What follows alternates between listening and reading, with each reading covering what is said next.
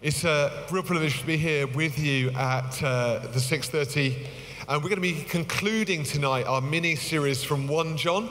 And so, if you've been here the last few weeks, you'll know we've been tracking through that, and um, we are closing the series with uh, 1 John, and we're going to be reading tonight from 1 John 4, starting at verse 16.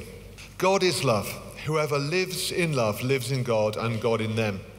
This is how love is made complete amongst us so that we will have confidence on the day of judgment. In this world, we are like Jesus.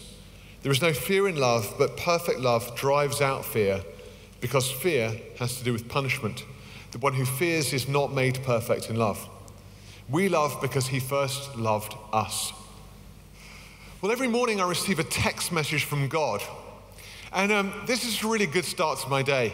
Uh, when I say I receive a text message from God, I subscribe to a text messaging service and it sends me an abbreviated Bible verse every day. And I thought it would be amusing at the time to save the number as God. And um, I found that a benefit. I mean, it's, it's a slightly odd thing to do, but I found it a benefit because largely when I'm scrolling through text messages that I'm not particularly fussed by, I don't generally scroll over God. I kind of wonder, you know, what might God be saying to me today? So I generally read the verse at the start of the day, and, you know, that's, that's interesting and it's good. But there's a couple of things you should know about kind of automated text message services like that. The first is that if it's a Bible verse, when they tend to abbreviate the verse for impact. So they kind of they make the verse slightly shorter because they want it to be pithy and you know it's going to change your life. But if it's like a super long, complicated verse, you're probably going to get lost. So they just abbreviate it slightly to make it a bit more punchy. But they also the, the other thing about the text messaging service, I've been subscribing to this one for about seven or eight years, is that after a couple of years you see the same text messages kind of coming around the block again. Now, that's actually quite a good thing because it'd be quite weird, wouldn't it, if they just kind of ran out of content after a couple of years and start saying, oh, I think we might have done this one before, you know, maybe we should like write some new ones. I'm quite glad that you know the same Bible verses actually come around the block. There's not like someone else is making up verses to send me. The thing about the whole thing, you know, I digress. The thing about the whole deal is with the text messaging thing, though, is actually you can end up with kind of a what I'd call a nemesis verse. You know, when your phone pings, rather than kind of feeling pumped about what God might be saying, you kind of got this strange apprehension within you that God might be on your case and He might be sending you your abbreviated nemesis verse right now. And you know, my abbreviated nemesis verse is actually 1 John 4, verse 18.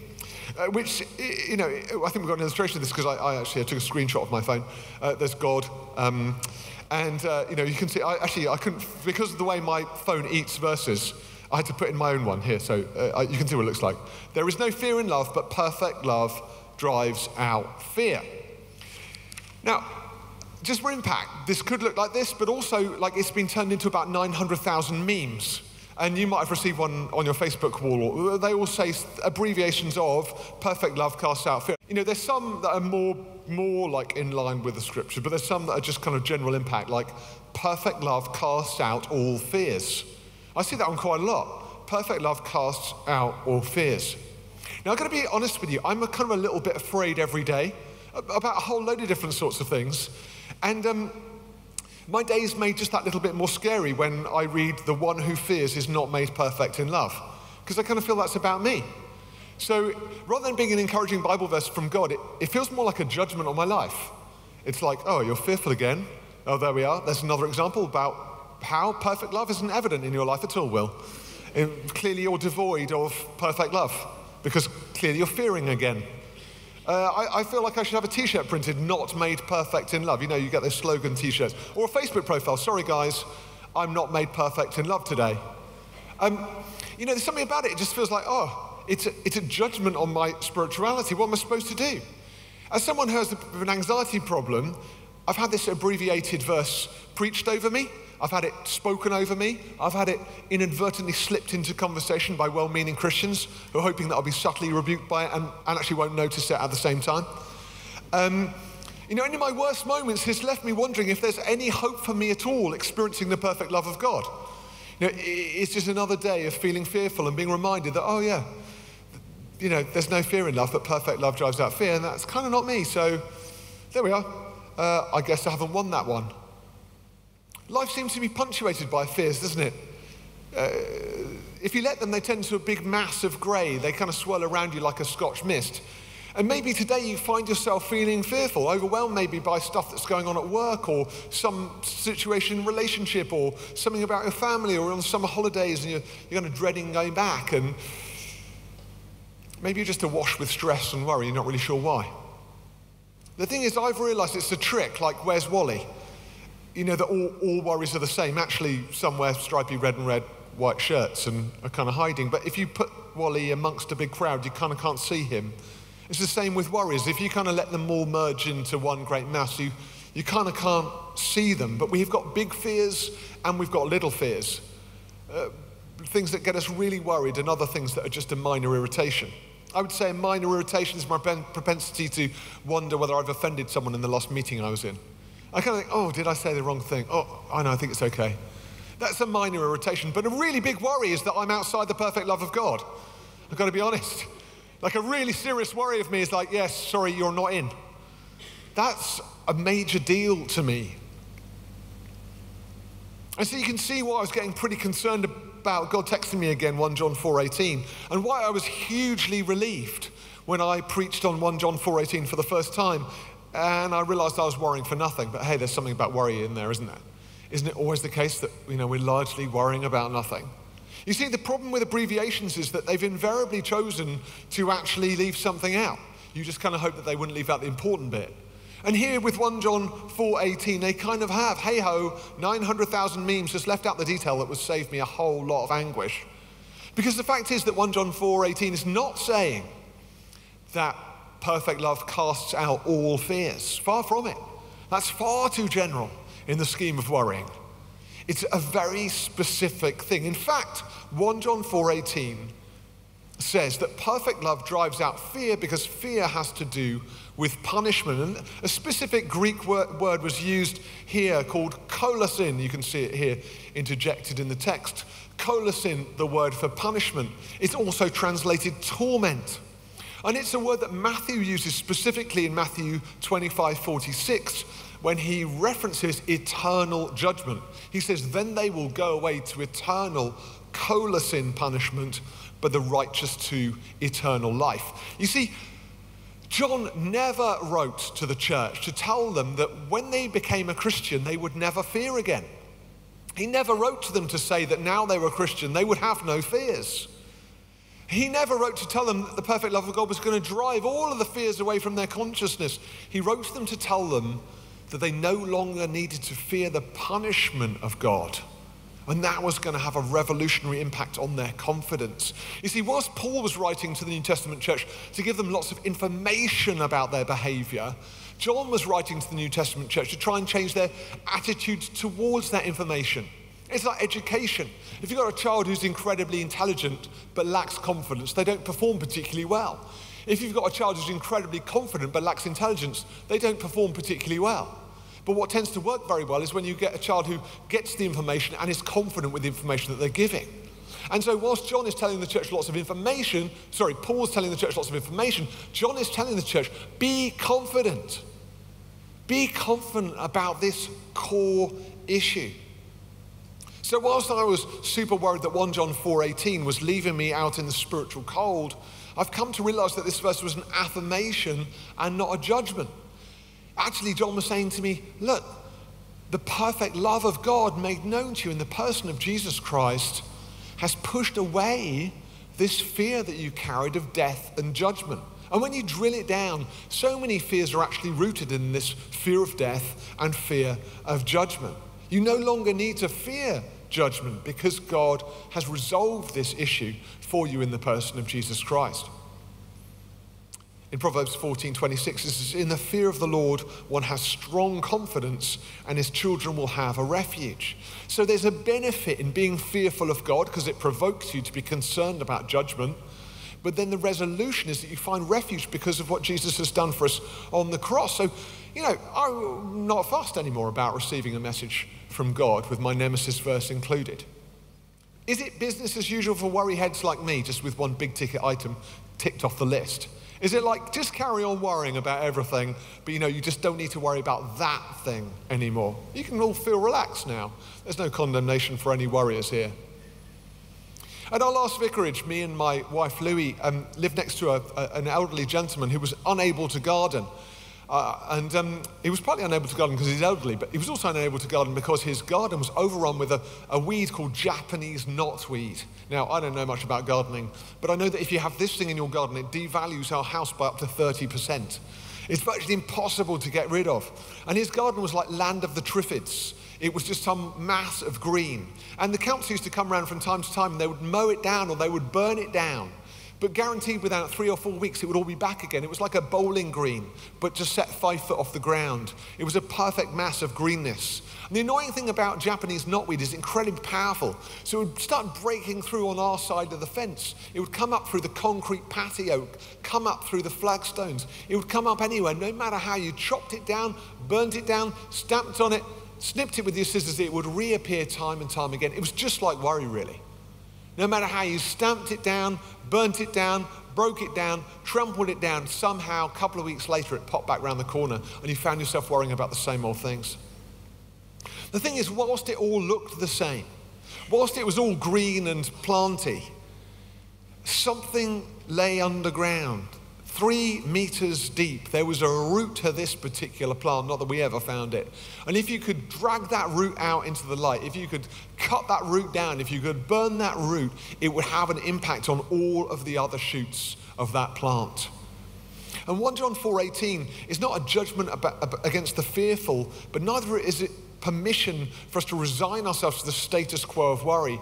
Because the fear of the judgment of God is a big fear. It is a root fear. If your life is overwhelmed by the knotweed of worry, don't see it as all being the same because this one root fear can have an impact on every other fear in the garden. If you're worrying about death and the judgment of God, then you need to have confidence tonight because the perfect love of God made, to you known, made known to you in the person of Jesus Christ is resolved, has resolved, and will resolve this fear for you. So, having had this root pulled out of our lives, we see significant change in other areas. In 2 Timothy 1 7, it says, For God gave us a spirit not of fear, but of power, love, and self control. And there is power in the knowledge of the love of God for you tonight. That's what John knew you could receive. And that's why he wanted the church to stop tying its shoelaces and start running the race set before him. The idea behind Abraham Maslow's hierarchy of needs was proposed in 1943. And the idea there is that we have a, a you know, a, a, cake of needs. Every level provides a new uh, complexity of need which we're seeking to meet.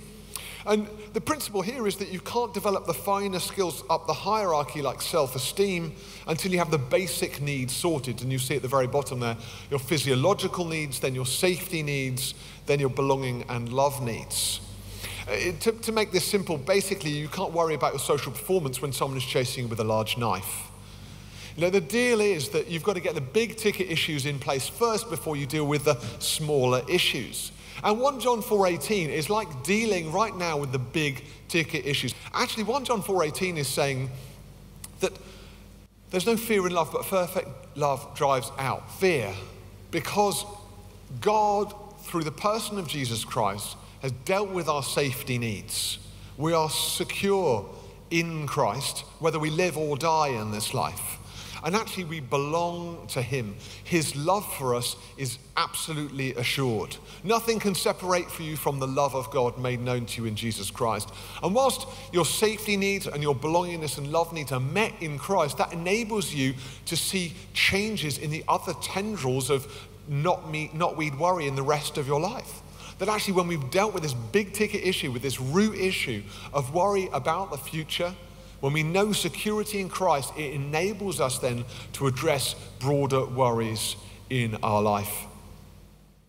R.C. Sproul wrote, We are secure not because we hold tightly to Jesus, but because he holds tightly to us. It's the knowledge that John wants us to recognize in order that we aren't lost in the fog of fear anymore, but can actually begin to live those confident lives in the kingdom. Romans 5:1 says that we're justified by faith. It's a simple step. And tonight, maybe there's some people here in the room who still are afraid of death. They're not afraid of death because they're afraid of the, of, of the pain of death. They're afraid of death because they're fearing the judgment of God. And I just want to say to you, if you make a decision tonight, you don't want to be afraid of death anymore, then we're invited to make peace with, G- with Jesus, peace with God through Jesus Christ. Just to say, Jesus, I recognize that you died for me, that you love me, that you've come to take my sin upon yourself, and I want to welcome you into my life today. That's a simple prayer, but that's the prayer that gives you the perfect love of God. If you've prayed that prayer before, then you need to know tonight that the perfect love of God dwells in you and that you're secure, that you don't need to fear the judgment of God anymore. You know, it's easy to preach this sermon, but it's much harder to do. I struggle with the practice of dealing with worries every day.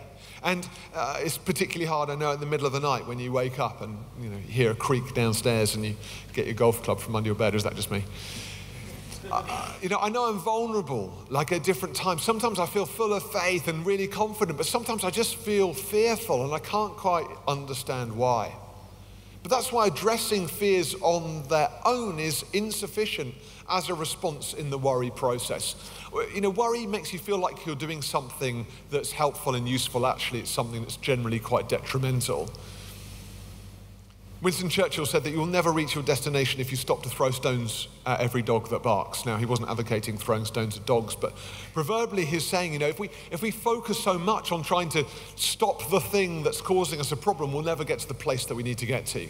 And if you're busy in your life constantly trying to stop worries, trying to deal with worries, you'll never get to the destination of where you're trying to get to. John was concerned for the church that they'd be so consumed by their own salvation and their lack of assurance of it that they'd never go out there and start sharing the good news of the love of God with the world around them.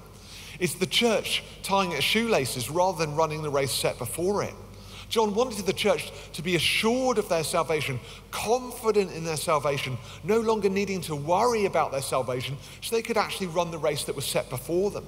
And tonight, you know, we need to make that journey to stop being consumed by worries and actually to start taking steps of faith. That's why just focusing on uh, decreasing the darkness is not as effective as increasing the light. We had some family time at my parents in law's uh, just a, a, couple of months back with one of my best friends, Tim. We've been friends for over 30 years. And uh, we've now got three kids each. And we, wives away, so, you know, we're all like, hey, kids, who's going to behave really well? They're like shaking their heads furiously. We're like, hey, kids, who's going to behave really well for loads of sweets? They're like, so immediately, like, yes, this is it. Come on, guys. So we like walk down to the village shop. We are ready to seriously spend. Me and my friend, we're like thinking this is 20 quid trip, no worries. We'll be watching the football all afternoon. Uh, we went past a um, telephone booth. You know, uh, do people remember telephone booths here? Just being sure, I never know. You know. Uh, how, but I mean, obviously, telephone booths are kind of, they're obsolete now, right? Because yeah, everyone has a mobile phone, so hardly anyone actually uses a telephone booth, especially out in the countryside. And um, so we're walking through the village, and there's a telephone. In my parents-in-law's village, they've turned the telephone booth into a like kind of swapping library. So there's no telephone in there anymore. It's just full of books. And, and at the bottom, there's a section for children, and the rest are just general interest kind of books, novels and stuff. So all our kids like rushed into this telephone booth, and uh, they're like looking around at the bottom for like the new titles and whatever. And they found loads of books that they really liked they said, like, Dad, Dad, can we take these books? Can we take these books? And I was like, no, you know what? You can't because it says here that you have to put something back if you're going to take something. I said, we haven't got anything to give. So they're all very disappointed and we bribed them with sweets. But when I got back to my mother in law's, I found that she had a box of Christian books that she was giving away. So this is brilliant. So me and my friend, we chose the 12 most evangelistic titles we could find in this box. We had like The Shack in there. We had like Searching Issues, Nicky Gumbel. We had like a few questions of life. You know, with some like David Watson biography. We had some really good stuff, you know, really meaty Christian evangelistic resource. The next day, we took the kids down to this uh, swapping library and um, so we carefully put these Christian books at the eye-line shelves, you know, the ones that they sell in Waterstones, like the real sale shelves. We like really like place them like, you know, three or four books apart so it looked really subtle all like the shack and everything. It's all there for someone. And there was a few dodgy books in there, so we like took them out and we turned them round. It's bad, isn't it? And then with the kids, obviously, they took their, their, their, uh, their, books and then we, you know, we went away and we're still we're praying that those 12 books will have a great impact on that village. The thing is, you know, the main thing I wanted to point out by that is that, you know, when you take something out, you've got to put something back. 1 John 4:18 takes out the fear of judgment. It takes away the fear of judgment that was burdening us. But actually, what John 4, 1, 1 John 4:17 does it, it puts in the perfect love of God. And 1 John 4:17 says, This is how love is made complete in us, so that we will have confidence on the day of judgment. In this world, we are like Jesus. God has taken something away from us, the fear of judgment God has placed something into us, the perfect love. And 1 John 4 17 can be split into three clauses. Firstly, that love is made complete in us. That's a truth if you've received Jesus. Love is made complete in you. In this world, we are like him. That's the second clause. You are like Jesus. Christian actually means little Christs. You are a little Christ. You might not feel like a little Christ, but you are a little Christ if you've received Jesus. That's how God sees you. He sees you as his son. He took your shame so you might become his righteousness. And then, thirdly, we will have confidence. So, three things love is made complete in us. In this world, we are like him, and we will have confidence. Now, human beings are creatures of extreme habit. If you want to lose weight, going on a diet, you know, is one way of doing it a diet that just says don't eat any food from here on in and you'll get thinner is not a helpful diet because actually you'll find sooner or later that you decide you want to start eating food again.